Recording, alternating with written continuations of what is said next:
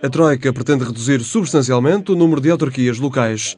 Este desejo não é recente, já o anterior governo tensionava diminuir a quantidade de freguesias existentes em Portugal.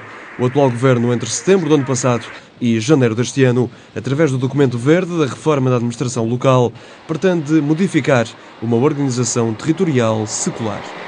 Eu lembro que o diploma refere que há necessidade, há a possibilidade de haver exceção, um caráter de exceção na reclassificação de, daquilo que é chamado lugar urbano, que são comunidades com eh, superiores a, a, a 2 mil eh, habitantes, e em face desta reclassificação que se faça, nós queremos que efetivamente, para além de Seixo e de Sermonte, que estas quatro freguesias sejam também eh, classificadas como não urbanas. As primeiras duas, porque efetivamente têm um número muito reduzido de população, e estas quatro, porque independentemente de ultrapassarem esse número, correspondem de facto a características específicas dessa tal ruralidade.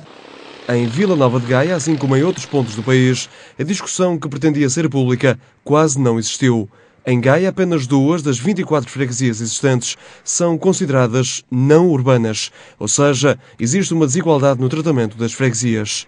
A lei que está a ser proposta dá conta de três níveis de urbanidade. O nível 1 implica a existência de mais de 500 habitantes por quilómetro quadrado, já o nível 3 implica a existência de menos 100.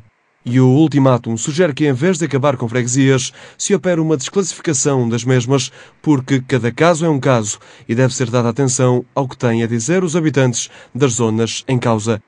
Gaia tem sido um conselho que tem tido um desenvolvimento a duas velocidades, com um litoral muito desenvolvido e um interior a reclamar sempre grandes, eh, um grande grau de investimento e de, e de obra.